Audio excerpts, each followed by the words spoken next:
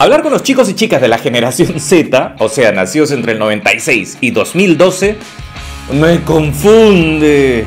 Aquí algunas de las palabras de su vocabulario. Y la primera palabra será Nashe. No sé si se pronuncia así, pero debo admitir que fue la palabra que inspiró este video. Porque uno de mis suscriptores en uno de mis videos de YouTube me escribió Nashe. Y con total honestidad no sabía si era algo bueno o malo. Así que fui al todopoderoso internet y encontré esto. Nashe, según su creador y también sus seguidores, hace referencia a algo muy bueno o impresionante. Es decir, es una expresión para referirse a algo importante que impacta de manera muy positiva. Así que es algo muy positivo. Caramba. Bueno, muchas gracias a mi suscriptor, señor Actix. Tú también eres Nashe. ¿Nashe? ¿Nashi? Na- ¿Y cómo se pronuncia esto? Es un streamer Nashi. ¿Vienen eso? Nashi. Es Nashi. Nashi. Nashi. ¿Nota la raya? Nashi. Nashi. Pusieron Nashi. Nashi. Na na na na Nashi. Entré en calor Nashi. Nashi. Somos los jefes Nashi. Estaba secando los huevos Nashi mente. Juega Nashi. Juega Nashi. Se agotó todo Nashi. Marquito Navaja vino para quedarse Nashi. Labura Nashi. Lo banco Nashi. Tenía Nashi. Todavía no me queda muy claro, pero me imagino que es algo así como Nash. Eso está Nash. Nash. ¿Así? Este muchacho que amablemente ha salido a explicarme cómo se pronuncia la palabra Nash es ni más ni menos que Martín Pérez Di Salvo, un streamer argentino mejor conocido como Cosco, un crack. Un crack de aquellos, ¿eh? Tiene más de 4 millones de suscriptores en su canal de YouTube. Y además es el creador de la palabra, de la palabra Nash. ¿Te parece poco que haya creado una palabra? Y ojo, no es solo una palabra, tiene muchas más, todo un vocabulario. Tener la capacidad de influenciar sobre millones de personas para que hablen en términos que él ha creado. Mi madre, mi madre, a mí me parece de cracks. Yo lo pondría en mi LinkedIn, la verdad. Bueno, querido Coscu, no me queda más que agradecerte por inventar tan linda palabra para poder decirle a mi audiencia que son Nash. Tú eres Nash. Ustedes son Nash. Todos somos Nash. Nash, Nash, Nash. Ahora le toca la letra F. ¿Cómo que F? F es una letra nomás. Eso es todo lo que se necesita. Es una letrita, pero con mucho significado. ¿eh? Y para el significado, pues otra vez vamos a internet. F es una letra comúnmente utilizada en las redes sociales. Más que nada es en el chat. Para acompañar una publicación triste. Sirve como un que en paz descanse o respetos al soldado caído o simplemente para lamentar un error. Pero ¿cómo demonios es que F significa todo eso? Pues prestemos atención al juego Call of Duty Advanced Warfare. Miremos este video.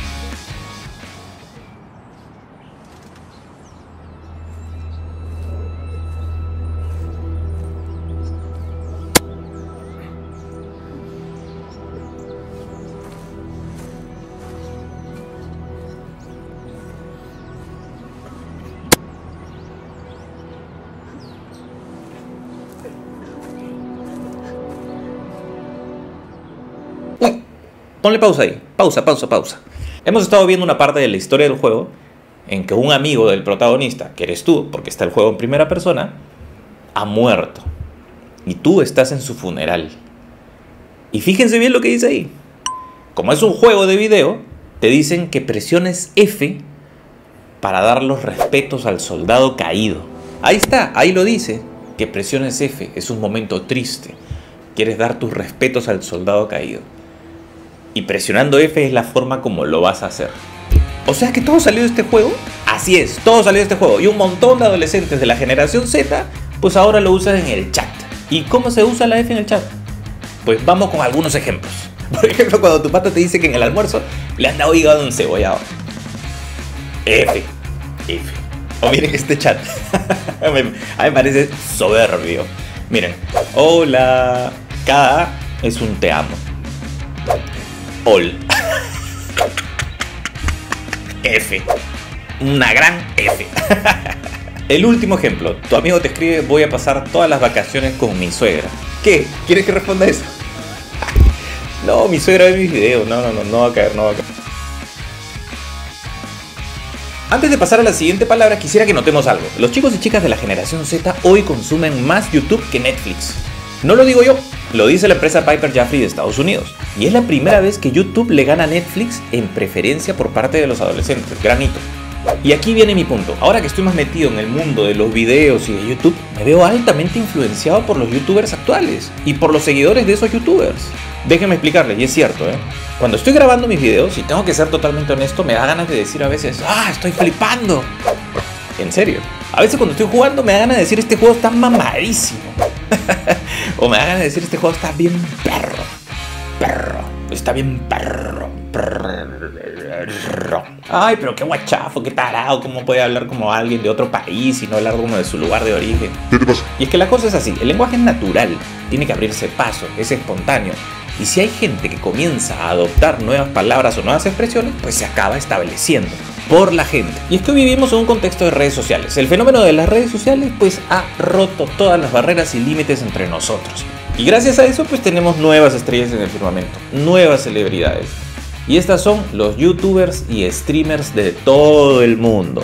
Mexicanos, argentinos, británicos, de Estados Unidos, españoles, de todos lados. Y eso es lo que consumen nuestras generaciones más jóvenes, la generación Z.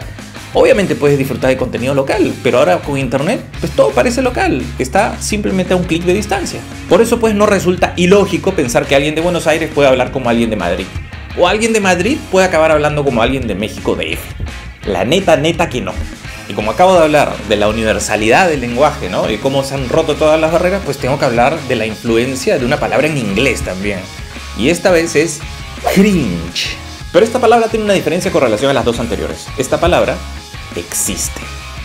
Pero existe en inglés y significa encorvarse. Pero la realidad es que acá le damos otro uso. Es algo así como vergüenza ajena. O sea, cuando ves algo que te da vergüenza ajena y te hace sentir así como que... Te hace sentir incómodo, me ha dado cringe. O esta situación da cringe. ¿Así? Dije cringe y no cringe porque también he escuchado que la gente lo dice tal cual como se escribe.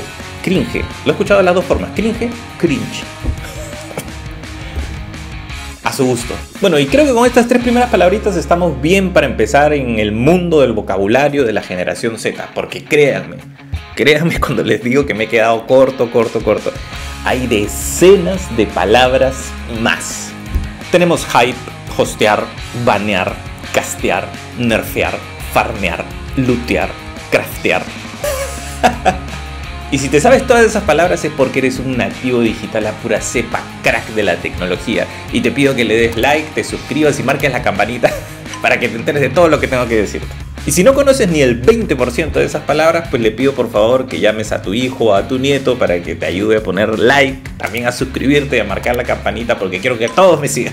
Y síganme también en mis redes sociales. Y además me encantaría que dejen en los comentarios algunas palabras adicionales, ustedes saben, de la generación Z que les gustaría que analicemos. Pero quiero palabras Nash. Nash.